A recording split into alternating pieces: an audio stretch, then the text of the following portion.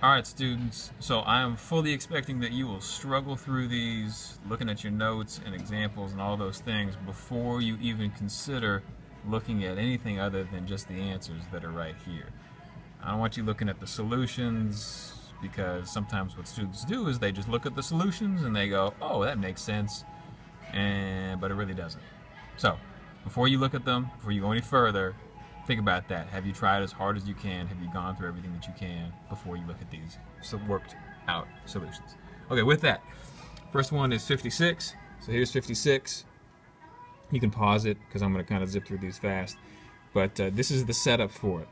Okay, rearranged equation, just like we did today in class for the warm-up. Uh, for 57, uh, change momentum is going to be the mass times the final minus the mass times the initial. This okay, just like we did today in class, plugging in, solving. For part B, you got to rearrange and then solve.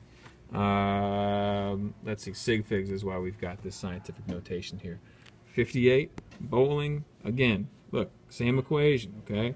Same equation, and then to figure out the change in velocity, you can rearrange uh, the momentum equation and solve.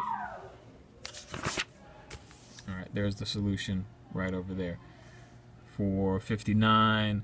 Uh, again, we're trying to figure out the change in momentum. So this is change in momentum. Mass times the quantity of the final velocity minus the initial velocity.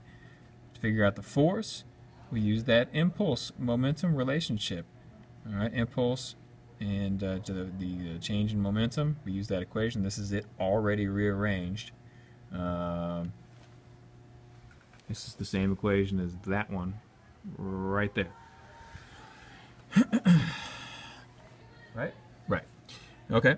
Uh, moving on. Let's see. What's the next one? 61 volleyball.